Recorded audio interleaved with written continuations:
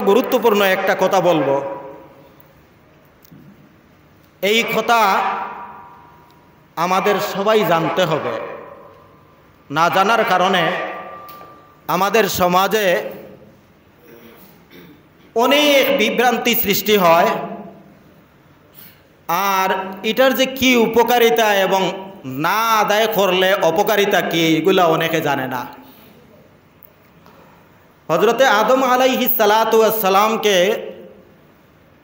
তৈরি করার পরে আল্লাহ ফকরবুল আলমিন ইবলিসকে সেজদা করার জন্য অর্ডার দান করছিলেন। এর কারণ হলো যে আদম সৃষ্টিতে ইবলিসে বাধা দিছে। সেই বাধা দেওয়ার কারণে তাকে স্যালেন্ডার করানোর ব্যবস্থাটা হলো, আল্লাহর কাছে মাফ চাইলে হবে না যেই ব্যক্তি এবং সত্তা সম্পর্কে অভিযোগ করেছ, সেই ব্যক্তি এবং সত্তাকে শ্রদ্ধা জানাইয়া মাফ চাইতে হবে। তখন আল্লাহর এই অর্ডারের উপর যুক্তি উপস্থাপন করেছে। মিস্টার ইবলিস যুক্তি উপস্থাপন করেছে যে, আমি হলাম আগুনের তৈরি আর সে হলো মাটির তৈরি। এখন আমি তাকে কীভাবে সিজদা করব। ওনার চাইতে আমি সর্বদিক দিয়া আমি বড়, আমি উপকারী, আমার আগুন উপর দিকে যায়, মাটি চাললে নিচ দিকে যায়, মাটিকে জ্বালাইয়া আগুনে বশীভূত করতে পারে, ক্ষমতা তো আমারই বেশি, তাহলে কেন আমি আদমকে চিন্তা করব। রব্বুল আলমিন যখন দেখলেন যে একবার অপরাধ করেছে, অপরাধের উপর আবার অটল অপরাধের উপর আবার অটল তারপরে আল্লাহর সাথে তর্ক এবং বিতর্ক। বিতর্কের পক্ষে আবার যুক্তি উপস্থাপন করেছে। রব্বুল আলমিন বললেন, ফাখরুজ, আর কোনো তর্ক নাই। ইন্টনাকা রাজিম, তুমি বের হয়ে যাও। তুমি মলউন, তুমি অভিশপ্ত, তুমি আমার রহমত থেকে সম্পূর্ণ বঞ্চিত। এখন এত, এতটুকু গোটার পরে বুঝলো যে এখন কিছু চাইয়া আল্লাহর কাছ থেকে নিতে হবে। এখন কিছু? আল্লাহর কাছে চাইল যে আল্লাহ আমাকে এমন একটা সুযোগ দান করো, যে আদমের কারণে আমি বঞ্চিত হলাম তোমার রহমত থেকে, আমাকে কেয়ামত পর্যন্ত দীর্ঘ হায়াত দান করো। রব্বুল্লাহ আলমিন বললেন, যা, তোকে দিয়ে দিলাম। আল্লাহ আমাকে এমন একটা সুযোগ দান করো, যে আমি আদম সন্তানকে প্ররোচনা দিতে পারি। কথা বুঝে আসছে? তাও আল্লাহ ফকরবুল্লাহ আলমিন বললেন, তোকে এই সুযোগও দান করলাম এখন এই কথা শোনার পরে আল্লাহর কাছ থেকে সুযোগ পাওয়ার পরে সে নিজের বীরত্ব আর বাহাদুরি দেখানো শুরু করেছে যে আমি আদম সন্তানকে আওয়াজ দিয়ে আল্লাহর রহমত থেকে আল্লাহ থেকে দূর করব। আল্লাহর জিকির থেকে দূর করব। সত্য থেকে বিচ্যুত করব। আওয়াজ দিয়ে পদাতিক বাহিনী নিয়ে, অশ্বারোহী বাহিনী নিয়ে, আর তাদের মাল সম্পদের মধ্যে ঢুকে, তাদের সন্তান সন্ততির মধ্যে ঢুকে এবং তাদেরকে প্ররোচনা এবং ছলনা দিয়ে। যখন এই সবগুলা পরিকল্পনা করে নিল, তখন আল্লাহ ফকরবুল্লা আলমিন বললেন, ওয়াস্তাফজিজ মানিস্তাতা মিনহুম বি সৌতিকা ও আজলিব আলাইহিম বিখাইলিকা ওয়া রাজলিকা ওয়া শারিকহুম ফিল আমওয়ালি ওয়াল আওলাদি ওয়াইদহুম ওয়া মা ইয়াইদুহুমুশ শাইতানু ইল্লা গুরুরা তুমি চাই আওয়াজ দিয়ে আমার বন্দাদেরকে বিভ্রান্ত করতে চাও তুমি তোমার পদাধিক বাহিনী নিয়ে অশ্বারোহী বাহিনী নিয়ে যেইভাবে তোমার শক্তি আছে, সকল শক্তি প্রয়োগ করে আমার বন্দাদেরকে বিভ্রান্ত করতে চাও, সত্য থেকে বিচ্যুত করতে চাও ওয়া সারিক হুমফিল আমওয়ালি ওয়াল আউলাদি, আর তাদের মালের মধ্যে শরিক হয়ে যাও, তাদের আওলাদের মধ্যে শরিক হয়ে যাও, এবং তাদেরকে তুমি প্ররোচনা দান করো ওয়াহিদ হুম ওয়াদা দান করো, মিথ্যা ওয়াদা এবং মিথ্যা মিথ্যা স্বপ্ন তুমি দেখাও। ওয়ামা ইয়াইদুহুমুসাইতানু ইল্লা গরুরা। আল্লাহ আদমকে সম্বোধন করে বলেন যে শয়তানের ছলনা, শয়তানের এই সমস্ত প্ররোচনা, শয়তানের অপকৌশল, সবগুলা হলো দুকা ছাড়া আর কিছু আর কোনো কিছু নয়। ইন্না ইবাদি লাইসালাকা সুলতানুন। আল্লাহ বলেন, আমার বন্দা যারা হবে, তাদের উপর তোমার তোমার কোনো ক্ষমতা নেই। তাদের উপর তোমার কোনো প্রভাব পড়বে না। আমার বন্দা যারা হবে, নবীজিকে বলেন, ওয়াকাফা বি রব্বিকা ওয়াকিলা। নবীজি, আপনি ভয় করবেন না। আপনার প্রতিপালক, আপনার অভিভাবক, আপনার উম্মতের অভিভাবক হিসাবে যথেষ্ট সুবাহান আল্লাহ রঈসুল মুফাসসিরিন হিবরুল উম্মাহ, আবদুল্লাহ ইবনে আব্বাস রাদিয়াল্লাহু তাআলা আনহু বলেন, ওই যে শয়তানের আওয়াজ কোনটি? কোরআনের এই আয়াতে, ওয়া, ওয়াস্তাফজিজ মানিস্তাতা মিনহুম বিসৌতিকা। শয়তানের আওয়াজ কোনটি? আবদুল্লাহ ইবনে আব্বাস রাদিয়াল্লাহু তাআলা আনহু তার তফসিরে বলেন যে শয়তানের আওয়াজ হল গান বা, গান, বাজনা বাদ্য যন্ত্র এবং রং তামাশার যত আসবাব এবং আওয়াজ আছে, সবগুলা হলো শয়তানের আওয়াজ। কার আওয়াজ? শয়তানের? মনে রাখবেন, শয়তানের আওয়াজ। গান এটা কোরআনের মধ্যে কি বলা হয়েছে? শয়তানের আওয়াজ। আপনাদের দেশের যদি কোনো শিক্ষিত এবং লেবাসদারি এবং কোনো ধরনের ইউনিফর্মদারি কোনো অবৈধ সন্তান বলে তাকে যে কোরআন হাদিসে গান হারাম পায় না, ওই সুরায় বনি ইসরায়েলের সাতষট্টিতম আয়াত পঁয়ষট্টিতম আয়াত এবং ছয়ষট্টিতম আয়াতের তফসির দেখার দেখার পরে বুঝতে পারবে যে কোরআনের মধ্যে পরিষ্কারভাবে গানকে হারাম ঘোষণা করা হয়েছে, শয়তানের আওয়াজ বলা হয়েছে। ও আজলিব আলাইহিম বিখাইলিকা ও রাজিলিকা, আর তুমি তোমার অশ্বারুহী বাহিনী এবং পদাতিক বাহিনী নিয়ে আমার আদম সন্তানকে আক্রমণ করো। আবদুল্লাহ ইবনে আব্বাস রাজি আল্লাহ আনহু বলেন যে শয়তানের পদাতিক বাহিনী, যে সমস্ত লোকেরা আল্লাহর দিনের বিরোধিতা করে, কোরআনের বিরোধিতা করে আল্লাহ কলিমাতুল্লাহর বিরোধিতা করে আম্বিয়া কেরামের বিরোধিতা করে ওলামাই কেরামের মঞ্চে বাধা দান করে, এই সমস্ত লোকেরা হলো শয়তানের বাহিনী। কে বলেছেন? আবদুল্লাহ ইবনে আব্বাস রাজি আল্লাহ আনহু এই তফসির করেছেন। ওয়াসারিক হুমফিল আমওয়ালি ওয়াল আউলাদ সংক্ষেপে বলতেছি আর তুমি মানুষের মালের মধ্যে শরিক হয়ে যাও। মালের মধ্যে শরিক হয়ে যাও। আবদুল্লাহ ইবনে আব্বাস রাজিয়াল্লাহ তালা আনহু বলেন, মালের মধ্যে শরিক হওয়ার অর্থ হলো, ওই ব্যক্তি মাল হারাম পন্থায় উপার্জন করবে, হারাম পন্থায় ব্যয় করবে, এটাই হলো শয়তানের অংশীদারিত্ব। ওয়াসারিক হুম ফিল আমওয়ালি ওয়াল আউলাদি আউলাদের মধ্যেও শরিক হয়ে যায়। এইটা হলো আমার আলোচ্য বিষয়। আওলাদের মধ্যেও কি হয়ে যায়? আওলাদের মধ্যেও শয়তান শরিক হয়ে যায়। আওলাদের মধ্যে যদিও শরিক হয়ে যায়, আবদুল্লাহ ইবনে আব্বাস রাজিয়াল্লাহ আনহু বলেন, আওলাদের মধ্যে কীভাবে শরিক হয়? যে অবৈধ সন্তান যারা, সব হলো শয়তানের সন্তান। জারদ সন্তান চিনেন তো? আ? আপনাদের দেশে তো বড় বারো বাসা চলে।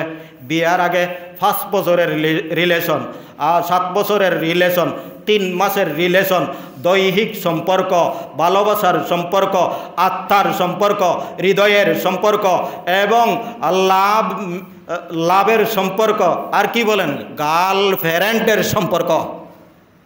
ও সব সম্পর্ক করিয়া এই দেশের মধ্যে এমন জারদ সন্তান দিয়ে দেশ পূর্ণ করা হয়েছে। এমন জারদ সন্তান দিয়ে দেশ পূর্ণ করা হয়েছে, যার কারণে কোরআনের মজলিসে বাধা দে, কোরআনের মাহফিলে বাধা দে ওলামাই কেরামের কণ্ঠ চেপে ধরে, আলিমুল আমার বক্তব্যকে ব্যাখ্যা করার জন্য বিভিন্নভাবে চাপাচাপি করে, ওরাই হলো জারদ সন্তান, শয়তানের সন্তান ইংলিশের সন্তান, জিনের সন্তান। আম্মাদান আয়েশা রাজিয়াল্লাহু তাআলা আনহাকে নবীজি বলেন হাল রাফি কুমুল মুগর্রিবুনা। আয়সা মুগার্রিবুনদেরকে তুমি চিনো। কঠিন শব্দ। এই কারণে আয়সা নবীজিকে জিজ্ঞেস করলেন, কুলতু আমল মুগার্রিবুনা? নবীজি, মুগার্রিবুন কি এবং কারা? নবীজি বলেন, ওই সমস্ত লোক হলো মুগার্রিবুন, যারা আল্লাযীনা ফি ফীহিমুল জিন্নু। যারা তাদের কাজের মধ্যে জিন্নাতকে শরিক করে। যারা তাদের কাজের মধ্যে, বলেন, জিন্নাতকে ইয়াস্তারিকু ফিহিমুল জিন্নু, যারা তাদের কাজের মধ্যে জিন্নাতকে শরিক করে তারা হলো আল্লাহর রহমত থেকে মোগার রিবুন মোবারিদুন আল্লাহর রহমত থেকে বঞ্চিত, আল্লাহর এহসান, আল্লাহর কুদরত, আল্লাহর রহম, আল্লাহর দয়া, আল্লাহর হক ও হক্কানিয়ত থেকে সম্পূর্ণ দূরে। কথা এখনও মনে হয়? পরিষ্কার হয় নাই? আচ্ছা। অনেকে বিয়া করছেন আর আবার একে করেন নাই। আল্লাহ আমাদের সবাইকে হালাল পন্থায় বিয়া করার তৌফিক দান করেন। সবাই বলেন? অবৈধ সকল পন্থা পরিত্যাগ করার তৌফিক দান করেন। সবাই বলেন? হালাল পন্থায় জীবনযাপন করার তৌফিক দান করেন। সবাই বলেন? হালাল সন্তান দিয়ে আমাদেরকে মালামাল করেন। সবাই বলেন? হালাল সন্তান, বুঝছেন তো? নবীজি বললেন যে সহবাস করাও সদকা। সহবাস করা? কথাটা বুঝছেন? এই হাদিসও নবীজি দশটা বস্তুর উল্লেখ করেছেন, সময় কম যার কারণে বলতেছি না। সহবাস করাও সদকা। সাহাবাই কেরামের প্রশ্ন জাগলো, ইয়া রসুল্লাহ এটা তো দৈহিক চাহিদা মেটানো হলো, মৌন চাহিদা মেটানো হলো, যৌন চাহিদা মেটানো হলো, তাহলে কেমনে সদকা হবে সব হবে? নবীজি বললেন হ্যাঁ তোমাদের কাছে প্রশ্ন জাগছে। এটা যদি অপাত্রে করা হয়, তাহলে তো গুণা হয়। সাহাবাই কেরাম বললেন, জি গুণা হয়। তাহলে সুপাত্রে করলে সব হবে। নবীজি প্রত্যেকটা কথার উল, ইল্লত এবং কারণ উল্লেখ করে জাতিকে বুঝিয়ে দিলেন, তুমি পরিষ্কারভাবে বুঝে নাও, এটার মাধ্যমে সদকার সব আছে, তুমি তোমার স্ত্রী মিলনের মাধ্যমে। কিন্তু এই স্ত্রী মিলনের সময় সামান্য অঘটন, সামান্য অসতর্ক সামান্য অখেয়াল, সামান্য বেখেয়াল থাকার কারণে আপনার আমার সন্তান যে জন্ম নিবে, এই সন্তানের অংশীদারি, শয়তান হবে নাই জিন্নাত হবে। শয়তান হবে নাই জিন্নাত হবে। আয়সারদি আল্লাহ তালা আনহার বর্ণিত হাদিসে রসুল করিম সাল্লাহু আলাইহি সাল্লাম বলেন আল্লাজিনা ইয়াস্তারিকু আল্লাজিনা ইয়াস্তারিকু ফিহিমুল জিন্নু, যাদের কাজের মধ্যে জিন্নাত শরিক হয়ে যায়, এরা হলো মুগারিবুন আল্লাহর রহমত থেকে বঞ্চিত, আল্লাহর হক ও হকানিয়ত থেকে দূরবর্তী। বুখারি শরীফের মধ্যে আরও একটা হাদিস আছে। আবদুল্লাহ ইবনে আব্বাস রাজি আল্লাহ আনহু সূত্রে বর্ণিত। এই হাদিসের মধ্যে রসুল করিম সাল্লাল্লাহু আলাইহি আসাল্লাম বললেন, লাউ আন্না আহাদাকুম আতা আহলাহু ইজা আতা আহলাহু কালা বিসমিল্লাহি। যদি তোমাদের কোনো ব্যক্তি তার স্ত্রী সহবাসের সময় বলে, বিসমিল্লাহি শব্দ মনে থাকবে তো বিসমিল্লাহি আল্লাহুম্মা জান্নিবনা শয়তানা ওয়া জান্নিব ইশয়তানা মা রাজাক্তানা জান্নিবনা শয়তানা ওয়া জান্নিবি শয়তানা মা রাজাক্তানা বিসমিল্লাহি আল্লাহর নামে শুরু করলাম কার নামে আল্লাহর নামে আল্লাহ হুম্মা জান্নিবনা শয়তানা আল্লাহ আমাদের স্বামী এবং স্ত্রীকে শয়তান থেকে দূরে রাখো, আমাদের থেকে শয়তানকে দূরে রাখো। ও জান্নিবি শয়তানা মা রাজাক্তানা, আর আমাদের জন্য যে রিজেক দান করবেন, যে সন্তান দান করবেন, এই সন্তানটা কেউ শয়তান থেকে হেফাজত করো এবং দূরে রাখো।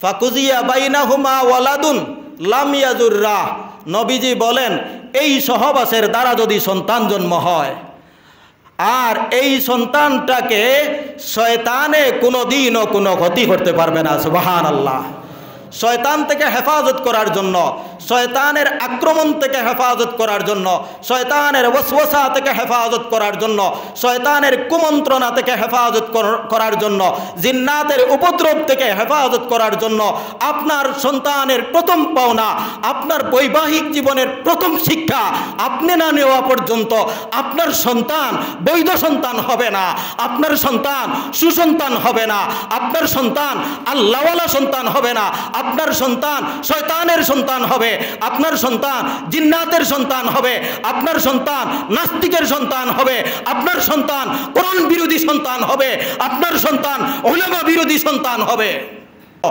আজ যারা এই দেশের মধ্যে এত প্রভাব দেখাইতে চান, আমরা তো আমাদের প্রভাব দেখাইব।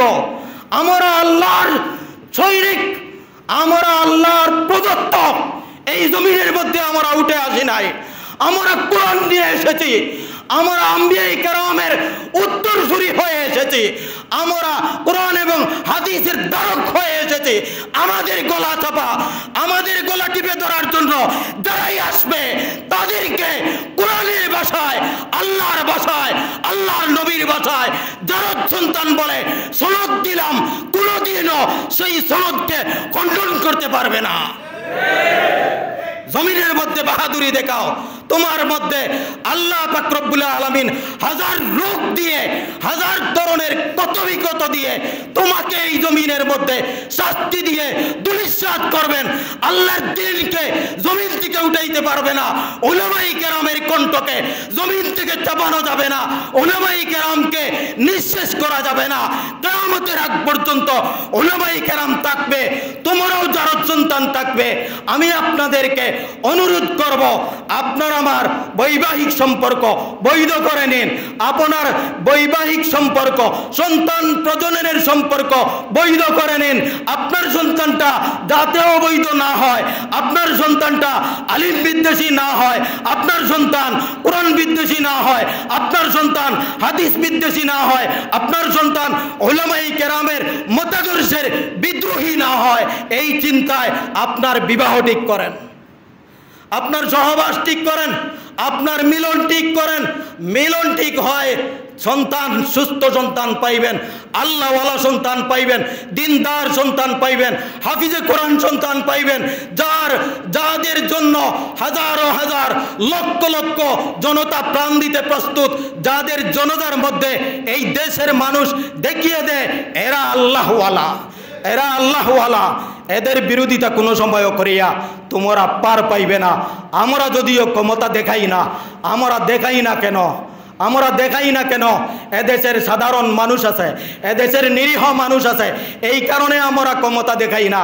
কিন্তু রব্বুল আলমিন আল্লাহর আম্বিয়া কেরামের সাথে, আম্বিয়া কেরামের উত্তরসূরি ওলামা কেরামের সাথে, যারা যে সময় বেয়াদবি করে, আল্লাহ তাদেরকে ছাড় দেন না, আল্লাহ তাদেরকে ছাড় দেন না, জমিনের মধ্যে বিভিন্ন গজব দিয়ে ধ্বংস করেন।